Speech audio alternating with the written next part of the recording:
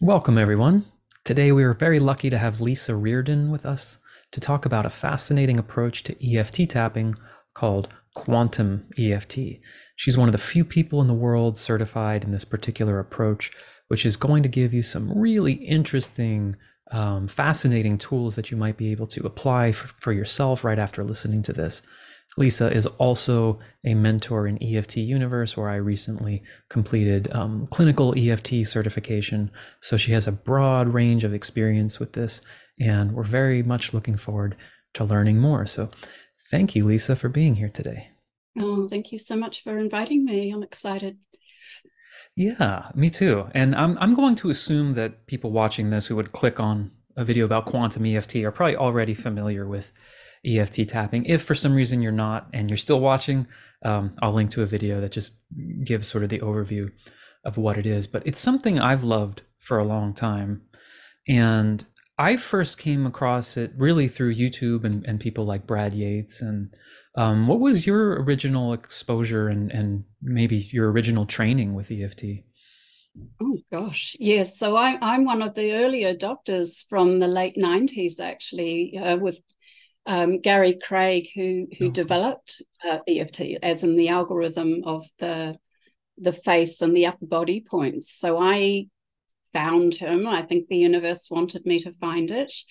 Um, and because I could feel how it helped to regulate my emotions, I thought, oh, there's something in this because it's helping me get into the body instead of just dealing with my thoughts. Mm-hmm. It was letting my body speak. Um, so yes, I um, used it with myself, and then in 2010, it was 2010, 2009 when the World Tapping Summit um, with the Ortners, and um, carried on doing that every year. And then I thought it's about time I got some certification because I was getting the nudge again from the universe to say, Lisa, I need you. There's going to be a lot of people who are going to need your help to deal with anxiety, depression, pressures of life. So that was, um, and I wanted something that was backed with sound science. So, mm. um, and I Dawson Church's work. So I, so that's kind of the route that I've taken uh, to get with clinical EFT. And then mm. my trainer, who trained me in clinical EFT, is was the founder of Quantum EFT, and that spoke to my soul. So we can go into that more if you like. Uh, oh, absolutely. Yeah. yeah. Is that Jenny? Jenny Johnston? Yeah, that's Jenny Johnston. So she developed, um, she got curious about putting EFT in with working um, with time, place, and space. So working more in the in the um, quantum field, if you like, that anywhere across time, place, and space we're connected with all of it. Like we can't not be. And so she's been exploring that and developed uh, a program and i just went yeah this is speaking to me. This this feels true. And uh, so yeah got curious and got qualified. So it's it, it's uh, an honor to be able to be part of that and uh, let people experience it. And great deep healing at the root causes can really happen for people. So here Very, i am very cool. Yeah. So this this is what it will be fun to talk about because I just maybe it's a small sample size, but my personal experience is usually the kind of person who's looking at something like EFT, certain open mindedness to begin with. And it's often not a big jump to start talking about even what you just opened the door with a little bit. Things like energy, which of course is part of EFT, but then you can get into things like time and space and quantum and that's actually becoming a lot more popular too. You know joe dispenza is getting very popular and he emphasizes the quantum a lot in terms of um, i think it's become a useful um, i guess i would use the word non-religious way to help a lot of people conceptualize this idea of connecting to something that is non-physical and like yes. bigger than the body. Like when you use the word quantum, even maybe not necessarily what how quantum EFT specifically is defined, but I'm just curious what that evokes for you because I think as soon as people see quantum EFT, each person who sees it already has a certain idea. Yeah. Oh, great question. And I'm certainly no quantum physicist, yeah, so it's it's a very personal, it's a personal energy. Uh, so my description of it would be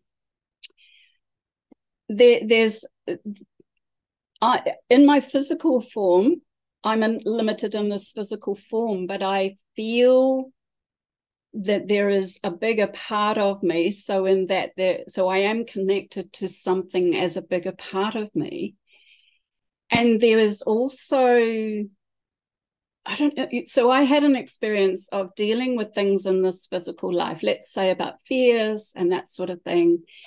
But the pattern would keep showing up. And one of my limiting beliefs, or one of my core beliefs, was around it's not safe to speak up. Mm. And it wasn't anything to do in this life, but there was like a real deep stain on wood essence of a memory I couldn't, I didn't have a picture. I did, but it was just this feeling of this, this is deeper than just this lifetime.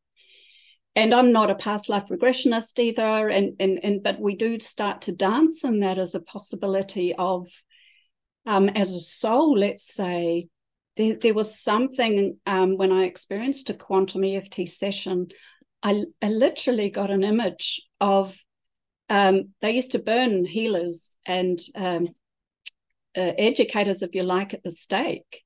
It wasn't safe to speak up and back in that energy of that lifetime. And I, I just got this image, and it was like, and it was so clear. And I, you know, I I just went with it because it was speaking to my soul. It was like this. I remember this. So it wasn't thought. It was a my body remembered somehow. So the quantum, you know, the scientists have talked about, some of the scientists were saying that, you know, we've got our 3D DNA, but they were calling the rest of the DNA junk DNA. Literally used like, the term junk DNA. Literally right? using yeah. the word junk. And it's like, but our creator, whatever you choose to call that, creator, mm-hmm. source, universe, God, you know, it doesn't make junk it all that probably meant was they didn't understand what that other 97% is.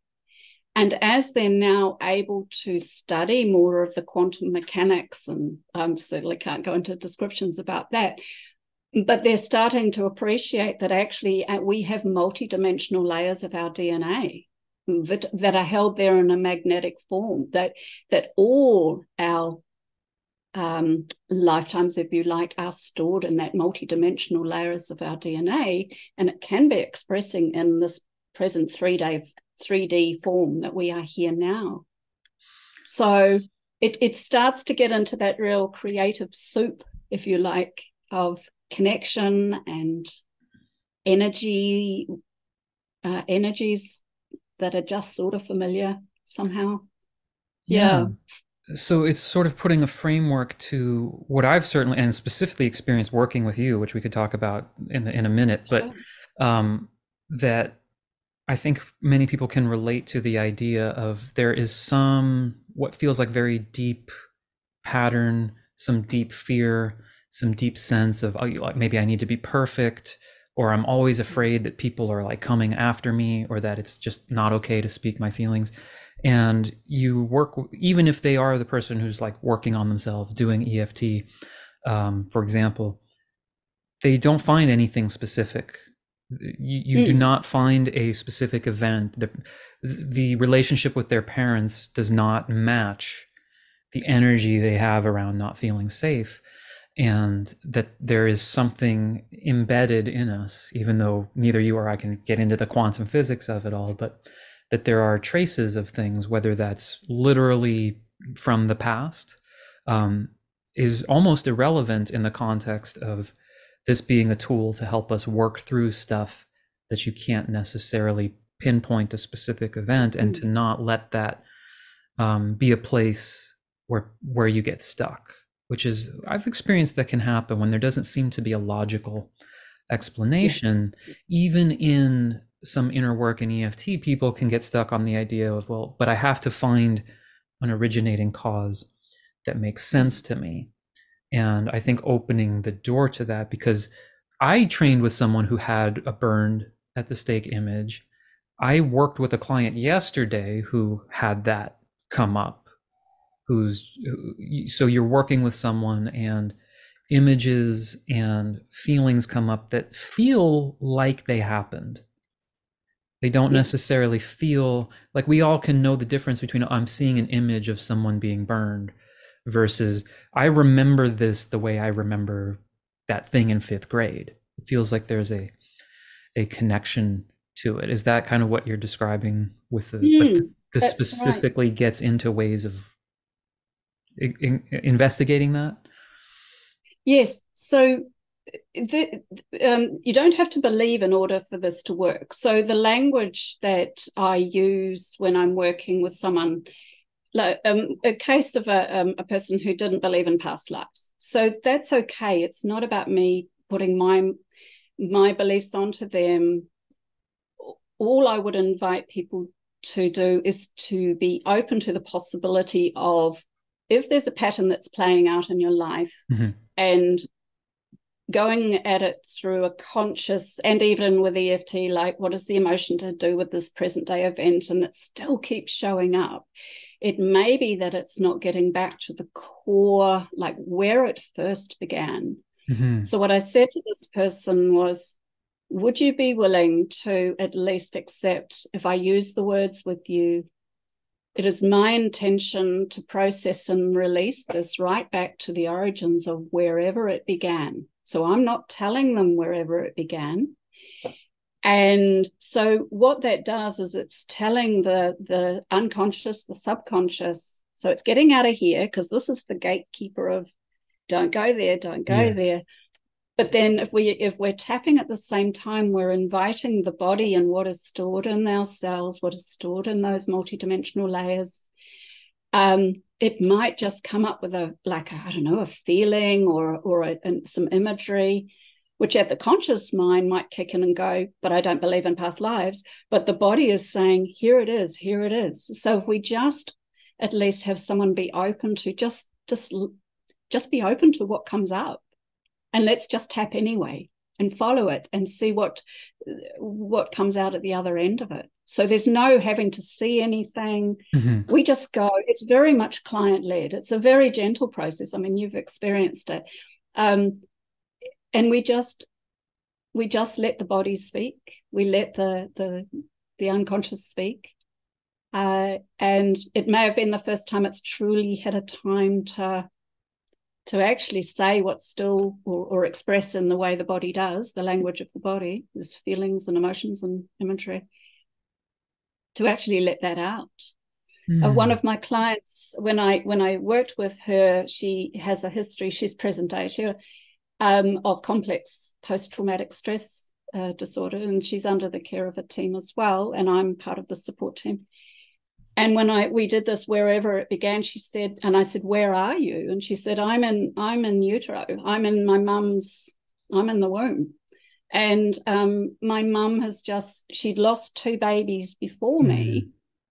She was told to get pregnant again straight away, and I'm that baby. She said, "But mum is so stressed." So what happens for that baby is she's been absorbing all of those stress hormones and so she had come out as a fearful child, you know, through no fault of anyone. It was just showing up in her. She's in that soup of stress. So, yeah. what we did was go back and give that little one, like, let her, like bringing in, we did sparkling uh, glitter amniotic fluid of love and I'm safe. And then we did working on the mum tapping her tapping on her. So we can do that in time place and space. Mm. let's just give the mum what she needs because she's you know so we can go along that timeline. And this was in present day so we did her present day timeline for doing quantum. So it doesn't have to be past life as such. It, it's just wherever whatever pops up we go where we go so hmm that's beautiful so it's it's a bit of a opening the door or setting a framework where whatever comes up from the system, mm. we are treating that as the guide and the place to go, and sort of this invitation to um, almost disregard whether or not it makes sense logically. And so there's like an emphasis on that as opposed to some other um, frameworks where where the emphasis may almost lean into okay let's find the event in fifth grade for example this is sort of yeah. like if if i'm seeing myself as a you know samurai this is something that actually happened to me uh 15 in 100 years ago instead of discounting that or trying to like understand the symbolism of it.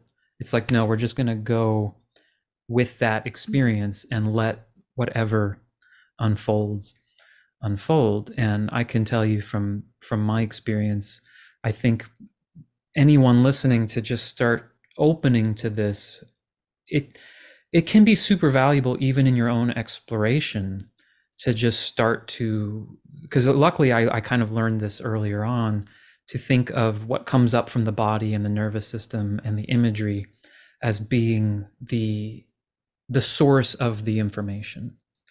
My mind might interpret it but it's not the source. It's just the interpreter.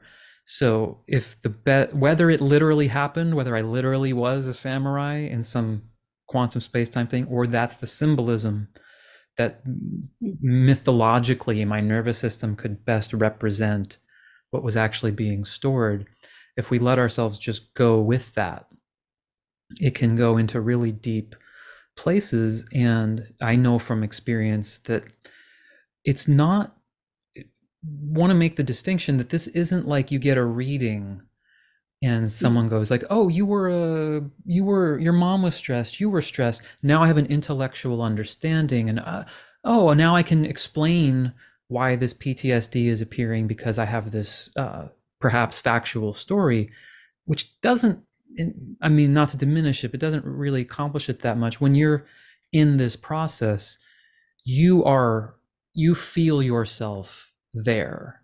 It's again as real of as a memory.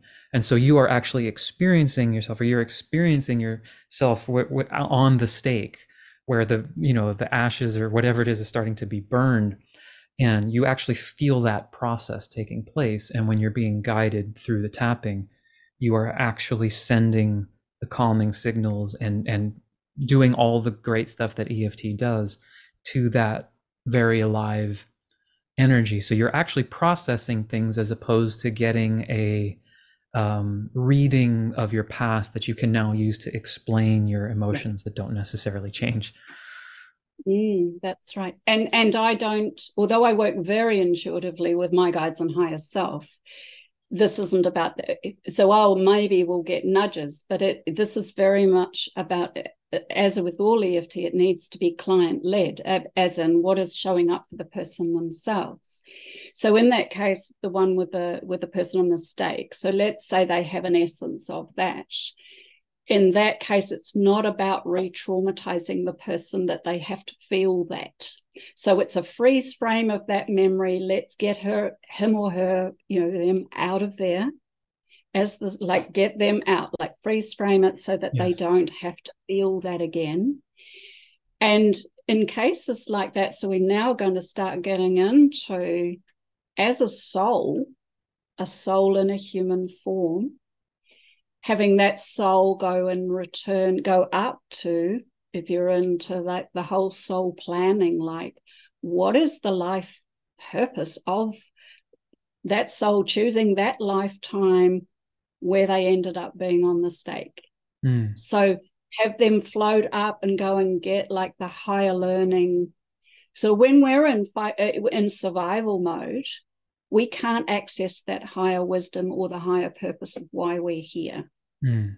So if we have that soul then go and connect back to that soul planning meeting with their soul family who are all agreeing to play certain roles, like even the crowd that will you know might have been watching that horrible event take place, you know, whatever that was, having that soul being able to look at it from a higher purpose, like, why did I choose that mm. at a soul level? So it starts to open up more around actually, I created that as a soul. I, I wanted, I, I came in. I had a woman earlier this week and we, we did this, a version of it, and she said, I kept trying to come back in to, to a lifetime to bring my healing message. And every time I got taken out, like, so we were working on the mm-hmm. energies of that lifetime didn't support the gifts that I had to bring. So she had a, a higher learning around, I keep trying to bring in my gifts. Mm. So we, we worked with that. And then present day, the language was tapping in those energies back then didn't support it, but the energies of today do. And now it's my time to show my gifts. Now it's time to shine. So it's like getting the learnings from that, but then also bringing it back into present day to bring those gifts in and move it across the timeline in present day. So I don't know if I'm making sense, but it's but it's a very powerful process once you clear things at a core level. Because then it lets us free ourselves to become amazing. Like we're not limited by old energies. It's very freeing. So, as an entry point, we're looking at essentially like any good healing in theory, we're, we're trying to get to a root cause. But this is opening the gate to a way wider interpretation of where that root cause might be. So it's sort of hmm going beyond that perspective of well the root cause must be something from evan as a baby to evan as an adult to forget all of that and just explore what comes up as we follow the energy which can start with something as a symptom or um, a feeling or a pattern. And as we do and we work and we just let the images and the emotions and come up and not limit it on the facilitator side.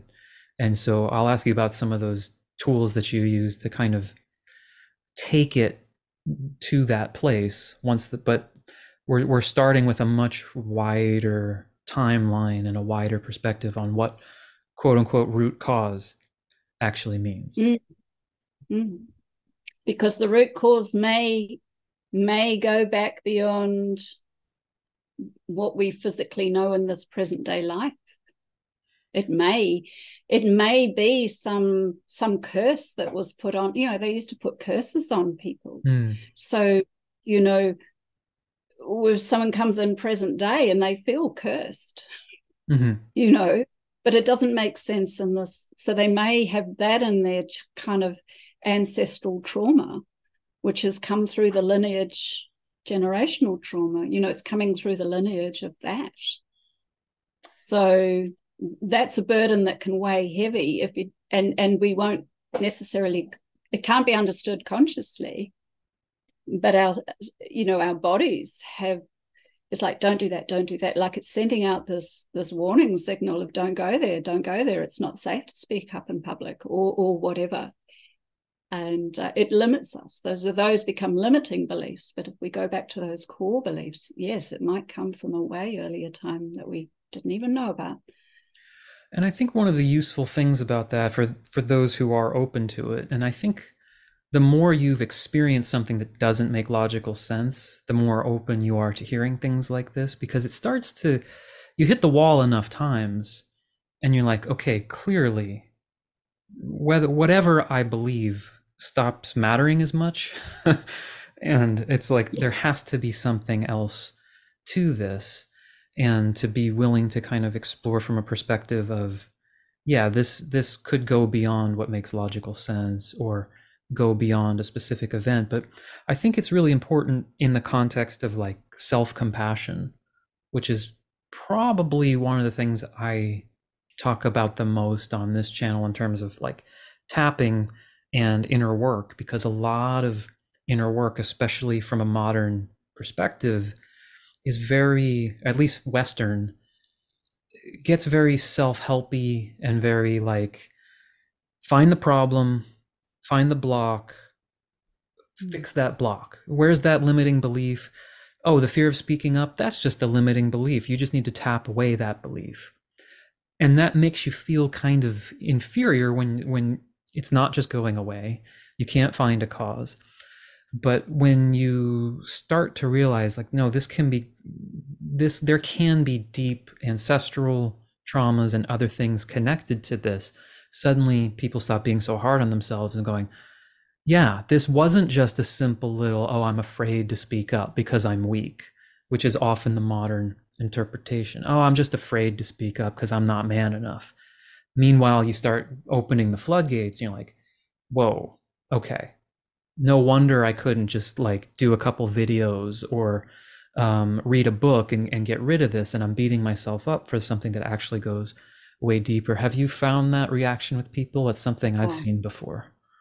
Absolutely. And and I think you've really um, hit the nail on the head. It, this is about having loving compassion you know there's there's no one has ever done any growth or learning out of a fear or a beat me up kind of you know mm-hmm. where our our inner critic or our inner voice might be saying oh you should be doing better than you are now like no one ever grows in that sort of energy so this the the frame that i like to hold and look i've been through my own journey of this you know there was this why why is it though although i've got these gifts i was keeping myself hidden for so many years. Mm-hmm. you know i had a voice uh, an inner critic that was trying to take me out.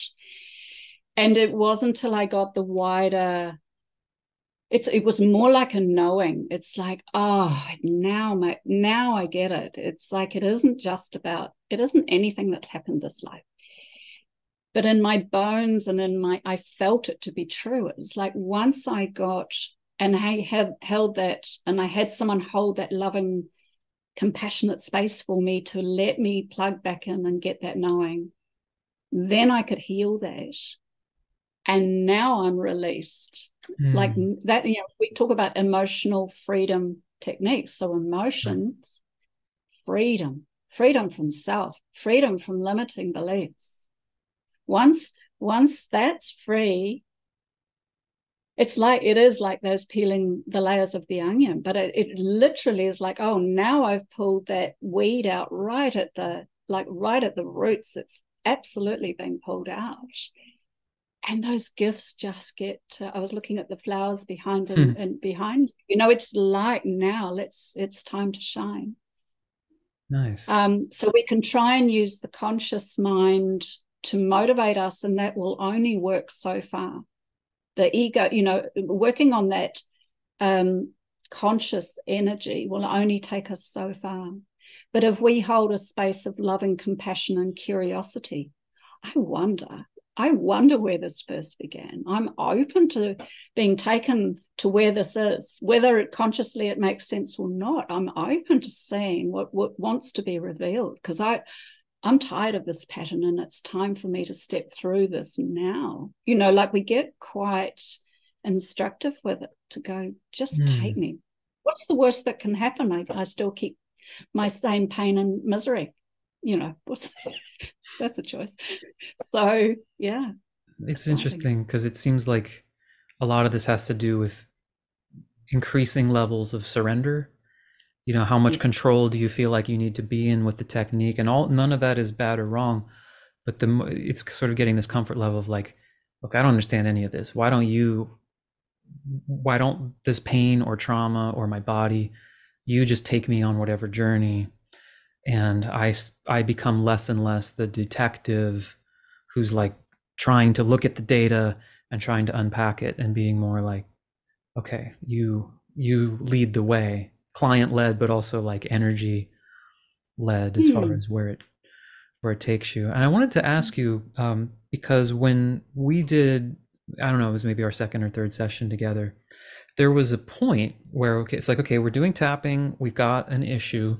I I have plenty of issues, so whatever it was that day, and there was a like a distinct moment where you said, "Would you be interested in I don't know if you specifically said like would you be interested in quantum EFT, but there was a crossroads where it could have gone very let's say clinical and it could have mm. could have gone quantum. Now and in that moment like what's the difference in terms of how you if I had said do clinical versus do quantum what are what are the differences in those beginning steps? Okay.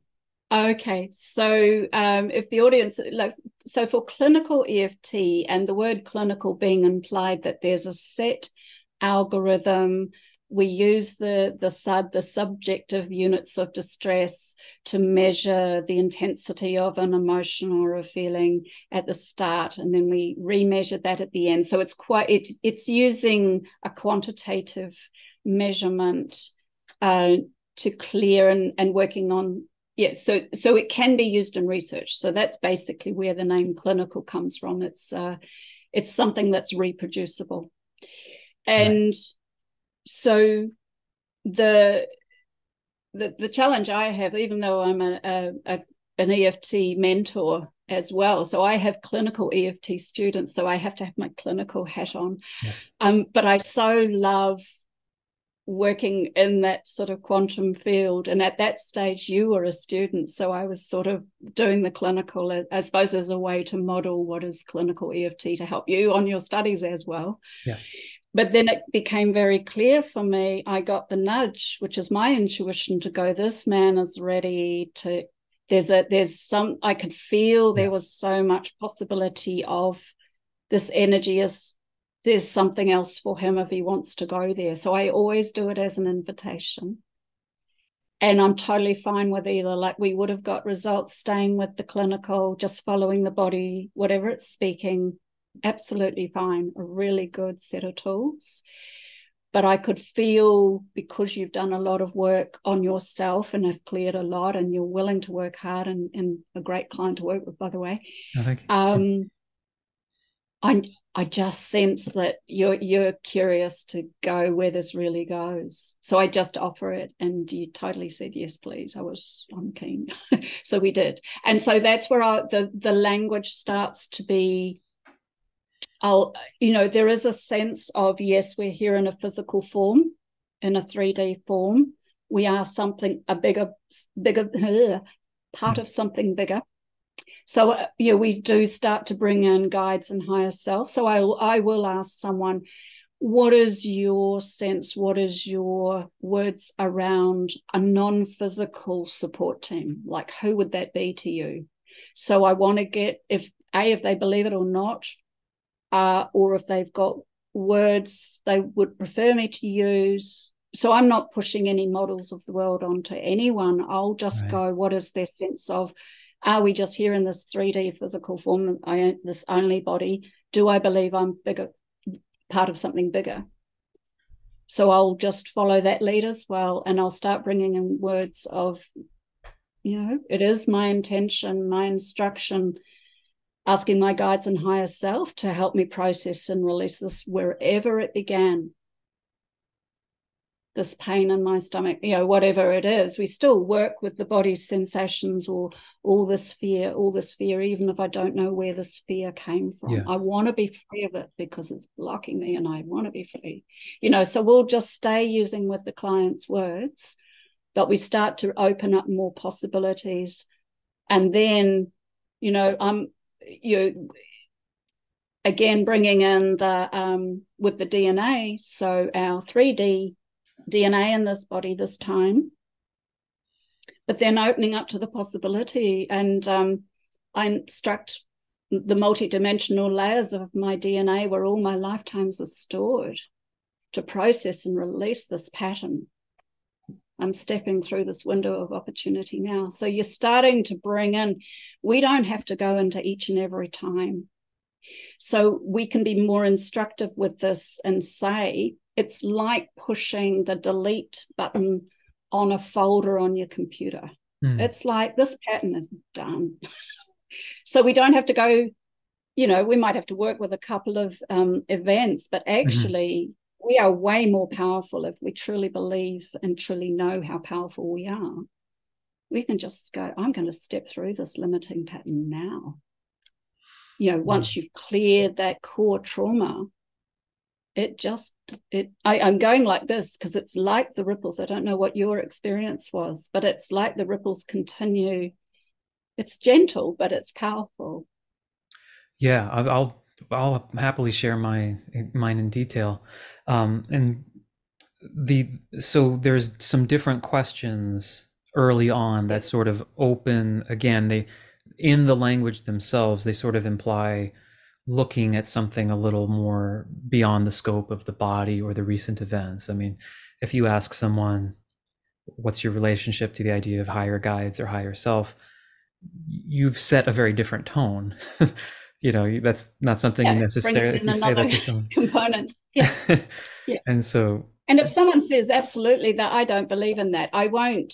It, that's okay because I'll work with whatever language works because the body knows it doesn't actually matter. You don't have to believe because you, while you're tapping, it still works. So that's okay. It's That's great. Yeah. So some of the um, areas that get introduced in quantum are this pers- like perspective of a higher self or guides, um, soul, like you mentioned, watching from above, and actually using the language of soul or soul family and choice. Um, you mentioned there was something else that just was just escaped my mind, but um, yeah, the guides, higher self, uh, a DNA and the idea of actually sending a message or an instruction to to the, to the DNA. Are there any other things that are sort of in the toolkit of quantums? That So we'll bring in the word Akash, the human Akash, which is the the summary of all our lifetimes, uh, which is stored in the multidimensional layers of our DNA. So it's always part of us. So that's another. Um, and so we those lives are stored there, but also the gifts. So Hmm. anything we've learned in a life, you know, we learn things. We come here, we learn, we clear stuff, and we learn that's all still part of us and we can access those. So once we've cleared that survival part, that um, you know, the limiting beliefs and things, then we can start to go into higher purpose. So what is my life purpose? What am I here to learn? And once we get a sense of that life purpose, it's like I actually now don't need to suffer anymore because I know my life purpose. I've got my Mhm. learning. Now let me play. You know, so yes, the the Akash. So Jenny Johnston back in 2012, being a very experienced EFT practitioner and trainer, met with um, Lee Carroll, who channels uh, Kryon. So the work comes from Kryon, who's a, uh collective consciousness, who's um, I don't know if people are familiar with the work. So a lot of that where they're talking about the human akash, the higher self, the soul. So that's what the blend of where this is, uh, where this has come from, where the quantum EFT has come from. Oh wow. So there's Mm. there's a channeled work component that Yeah. it's he that So- is a book that already exists or or this Well, was so- unique to quantum EFT.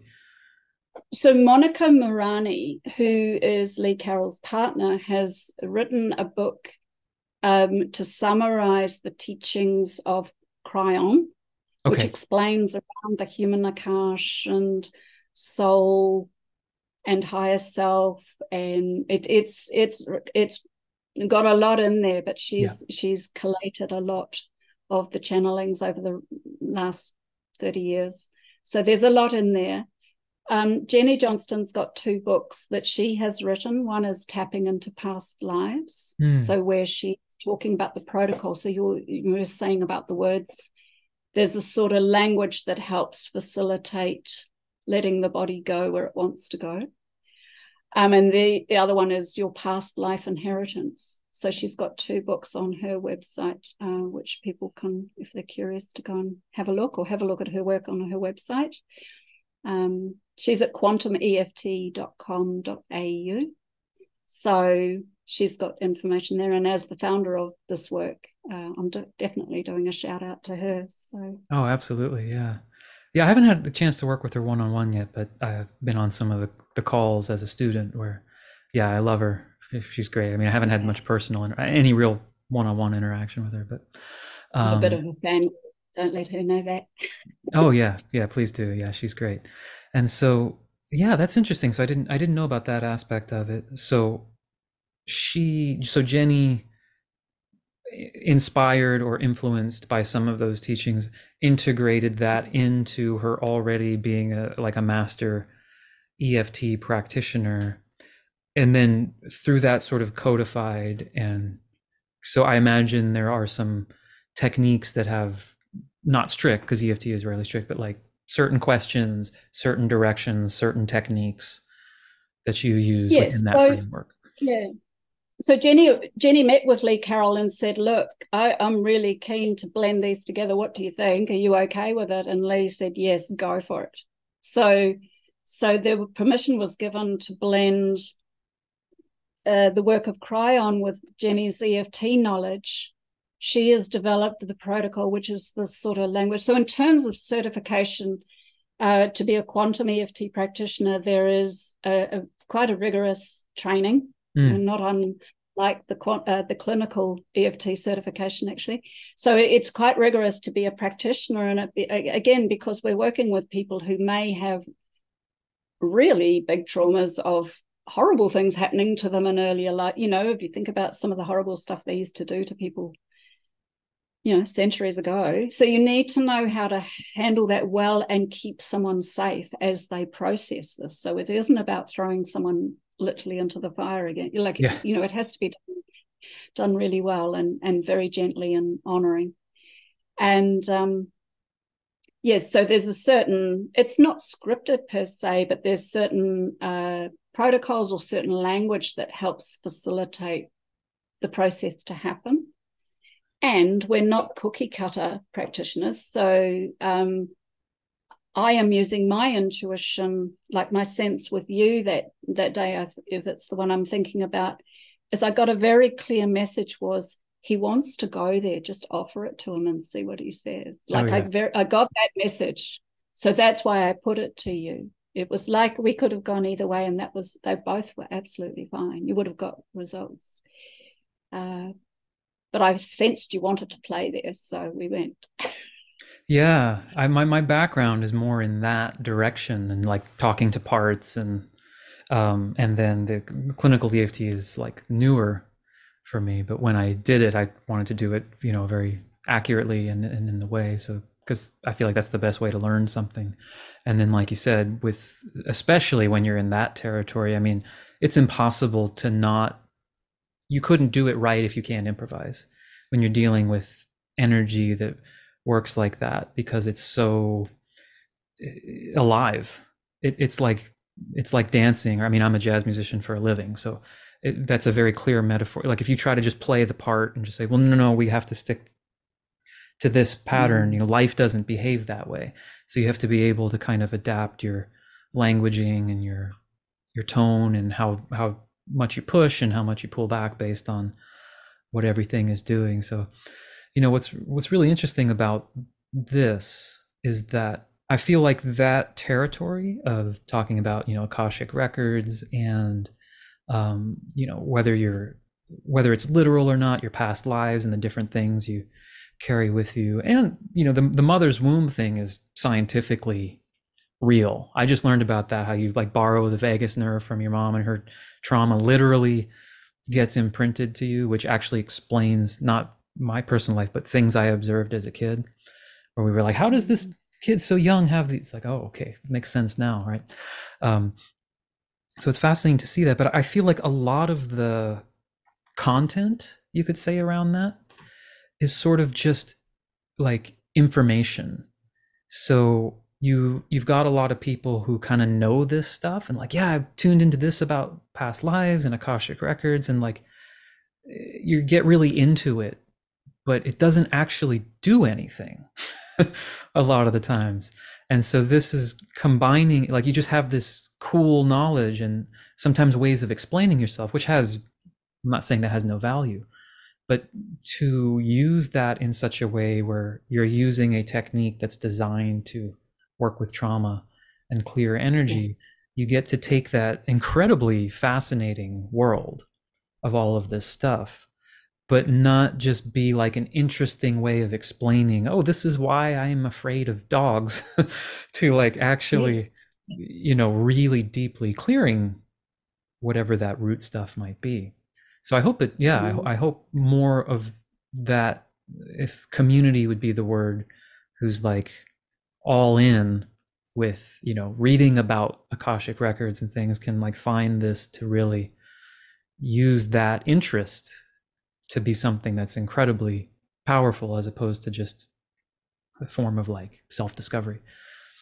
Mm, nice. Yeah it, that, that's that thing it's like knowledge is one thing but what if you were also able to take the tapping to that knowledge and like you say to truly release it at its core at an energy level. Because mm-hmm. we're working you mentioned being a jazz mu- musician and those nuances it's vibration right? This is the same. It's like let's let's clear the vibration and the energy of the body as well.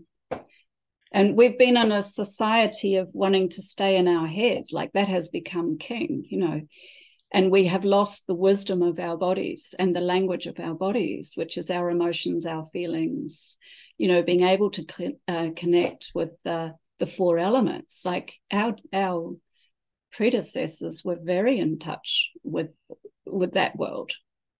And we have become so focused on from here from the neck up. It's all around thoughts and we try to override it with thoughts and ego and meanwhile there's the, all this part of us that has so much that for some have lost touch with or are mourning that and they want to get back in touch with it and this is a way to honor that and bring it back in uh, which i'm really excited to be part of and has been part of my big healing journey as well mm. which is why now i work in the field of helping people also feel that that's it's like a calling. It this is part of my life purpose. So I'm here. Oh, I'm I'm, I'm sure it is. yeah, because you're very good at it, and that because uh, that is another language from the neck yeah. down. It's a language of symbolism and feeling and energy and stuff you can't believe even exists in yourself and memories and, and experiences that will just really literally blow your mind because your mind can't even understand or process it. It just kind of short circuits it, and that's a good thing because it it kind of takes you you get into this space. So for me, when we did it, um, I have always had a real strong aversion to knives. Don't like mm. to see them. I mean, it's not gone, but I I remember as a child if I heard the word blood, there was a there was a pop song at the time that I liked, but there was it said the word bloodstains on the carpet uh, is one of the lyrics, and this was a you know on the radio, and I would I would like flood, I would I because I'm hyper visual, so anything anytime someone says something to me, I see it usually, and so I would see that image and just I would see blood on the carpet and it would send me into a total I'd be a mess. And I'm a really young kid here. And I don't have any uh, really clear memories of anything actually happening to me with blood or knives. But knives, even seeing them sometimes can trigger that um, response and and can I can start seeing some pretty unpleasant things. So it's still weird for me to hold them, but it's like it's evolved. So anyway, when when we did the session, I don't know why that came up, but that similar aversion, that really intense body level thing was coming up, and that you you know you probably couldn't have not gone there if you tried because you you felt how strong that was active in me. And, and I was like yeah this is this is beyond like some of the other approaches that we might use in that moment if you're willing to go there. And so I was feeling all of that. And before you knew it, I was in the first person. And I, I had experienced actually a version of this once before in a smaller detail. And it, it was kind of almost traumatic, the, the memory of this experience.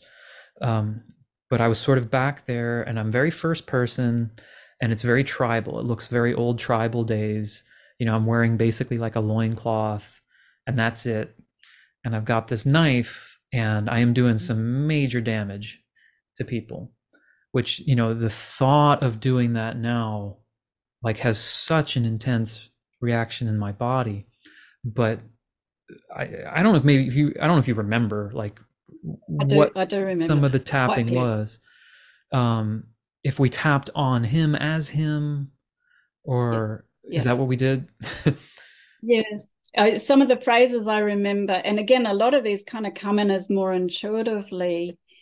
And you said, I'm killing people. Mm. There's only me and I think someone else left. And I said it was a kill or be killed world. Mm. So I was starting to bring that other lesson of the energy at that time was if I don't kill, I'm going to be killed. Like it was at that basic survival level.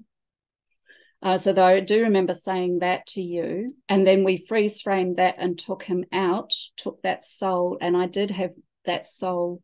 Had you take that soul up to the soul planning meeting and going, given that this experience is happening, what is the life lesson? Like, what is it?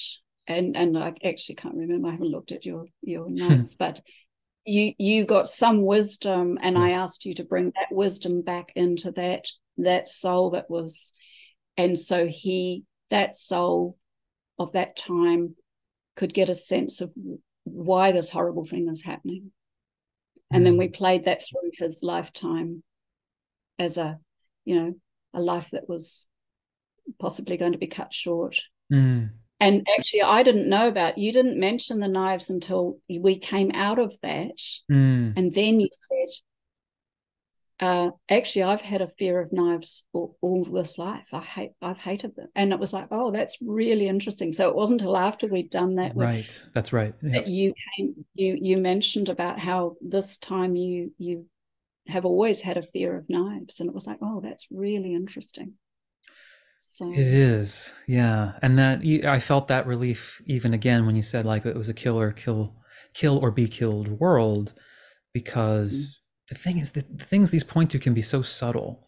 Like i don't know if i even necessarily would have recognized this at the time but when when we just did that now even for a second it's like yeah i've i have often felt this feeling like i've done something horribly wrong and i need to be punished. I have felt that since a young age and i used to maybe blame it on some religious teaching or whatever but that didn't quite explain it you know like what is this what what did I do? I'm just a kid in Pennsylvania. Like, you know, I haven't really done anything. But you know, so these these little nuances of things we carry that we get used to, um, when you start just exploring some of these types of processes, you you get a sense of actual relief, and then they make sense often. And that's often the way it is. I found on both sides of the fence, either being the client or the facilitator. It's like you the energy does what it needs to do it takes you where it needs to go and then you get the cognitive insight of wow that explains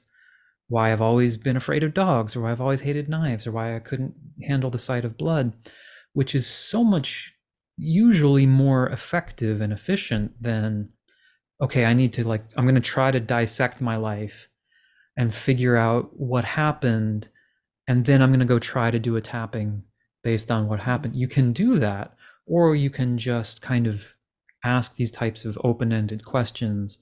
Um, and if it's safe enough, and yeah, you might have to, you know, have done some work. But but if you're working with someone like you, you're going to be able to pace that appropriately. But I don't want to put a limit on it because you can be very inexperienced.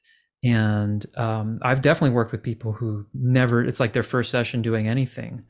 And we're like in another lifetime or something.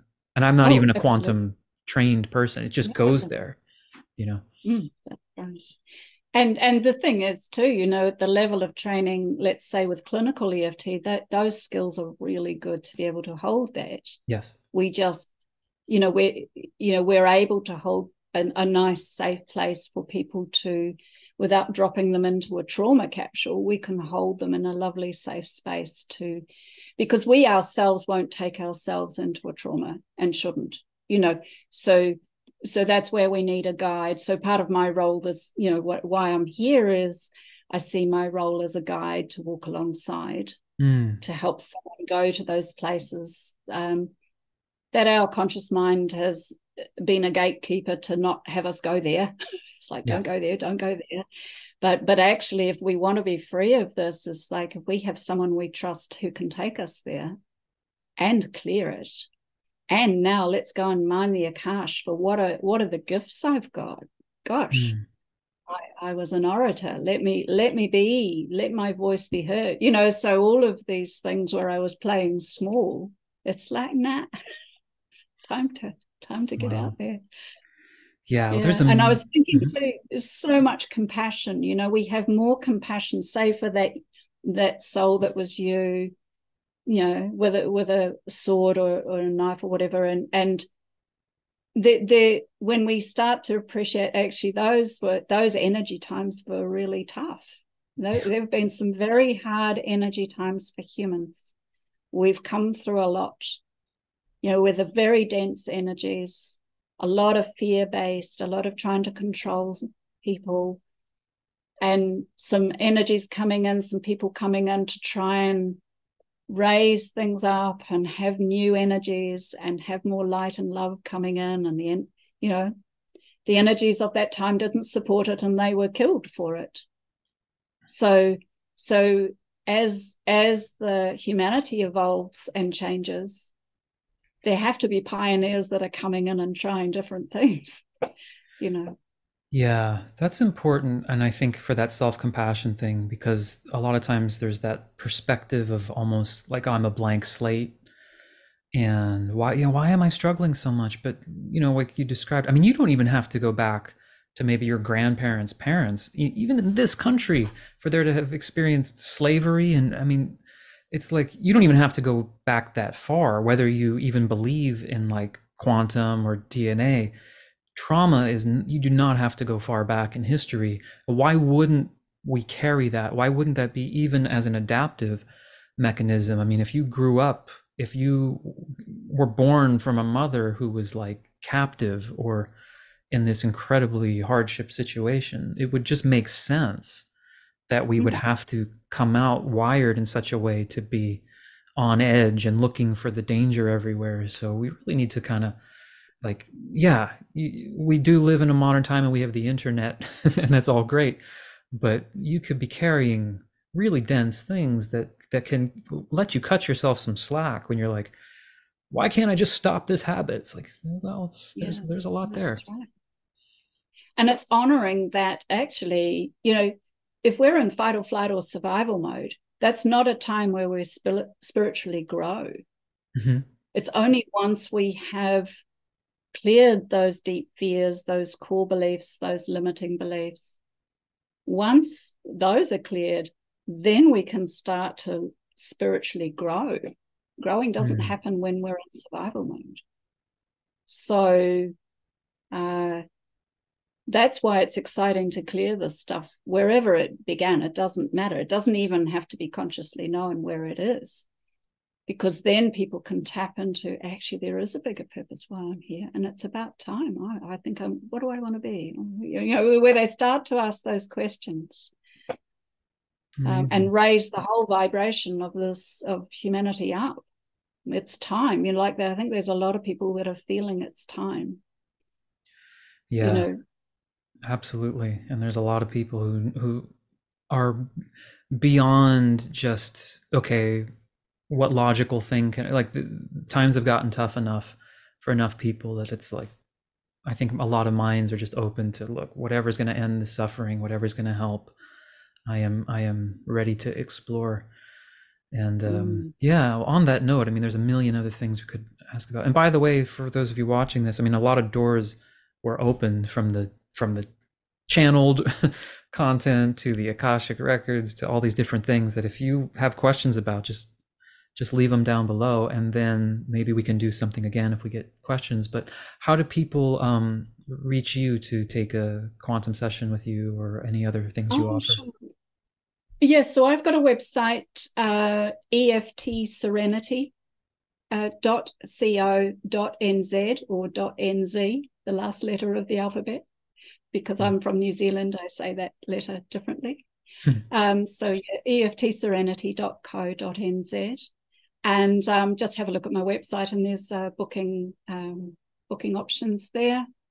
And um, yeah be love to work with people if um, and we can just explore. As i say there's no there's no beliefs that you have to have. I certainly work very um, much with whatever is on top for you and we just follow that um, but yeah that's how they can get hold of me Awesome. I'm in well, New I... Zealand. I do work over Zoom, so I'm actually in your future, um, Evan. Yes. So, um, so I do. I do work. This does work over Zoom. Uh, we do. I do see most of my clients are overseas. Ours was over Zoom, so I can vouch for it. Yeah, and you were safe, weren't you? yes, it was great. Yeah, I, I, highly encourage people to to do it at least once, at least to experience a, a very different, um, very different experience. That's very valuable. Yeah. Awesome. Well, thanks so much. Anything else you wanted to add or say before? Oh, I just want to thank you so much for the opportunity to uh, let me give a voice to this. And oh, um, I want to wish people well. You know, there is there's that core part of us, I believe, that is asking to be released and to be free.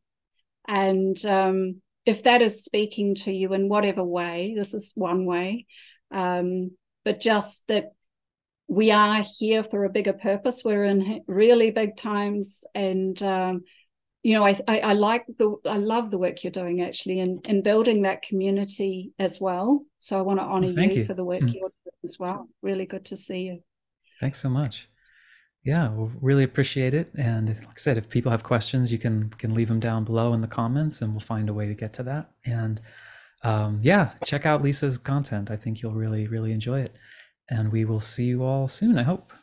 Take care.